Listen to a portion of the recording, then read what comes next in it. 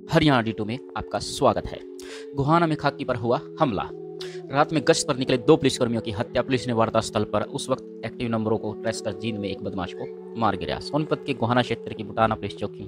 100 metre दूर सोमवार रात गश्त पर निकले एसपीओ कप्तान व कांस्टेबल रविंद्र को तेज धर हथियारों से हत्या कर दी गई। मौके पर पहुँची डीजीपी मनोज यादव के आदेश पर गठित आठ टीमों सोनीपत साइबर और सीआईए टू की टीम ने जींद के रोहतक रोड पर एक बदमाश को मंगलवार की शाम करीब छह बजे मार गिराया।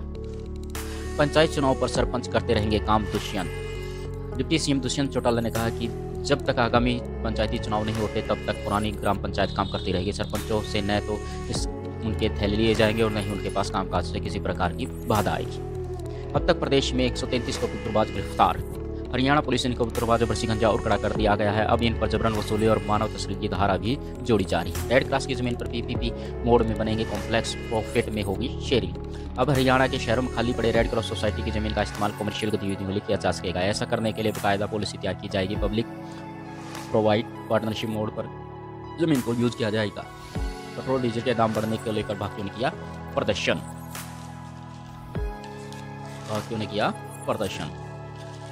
टिड्डी दल का चार दिन में दूसरा बार रेवाड़ी में प्रवेश हवा ने वापस राजस्थान की ओर मुड़ा। करनाल के अस्पतालों में चार डॉक्टर, पाँच मेडिकल स्टाफ, सदस्य और सोनभद्र की फैक्ट्री में पच्चीस लोग समेत तीन सौ सतासी नए मरीज़, चार की मौत। देश, बुधवार में, बुध, देश में अनलॉक तो शुरू हो गया। इसमें कुछ छूट बढ़ाई गई, लेकिन लोगों को अब तक सतर्क रहने की ज़रूरत है, क्योंकि अनलॉक वन में प्रदेश में कोरोना का संक्रमण तेज़ी से बढ़ा। अनलॉक में हमें करीब सात गुना मरीज़ और करीब ग्यारह गुना मौतें बढ़ी पचास साल में चौदह सौ छब्बीस करोड़ महिलाएँ लापता, चार पॉइंट आठ करोड़ सिर्फ़ भारत की दुनिया भर में पिछले पचास सालों में चौदह पॉइंट छब्बीस करोड़ महिलाएँ लापता हो गई जिसमें एक तिहाई यानी चार पॉइंट अठावन करोड़ महिलाएँ सिर्फ़ भारतीय ही थी। धन्यवाद।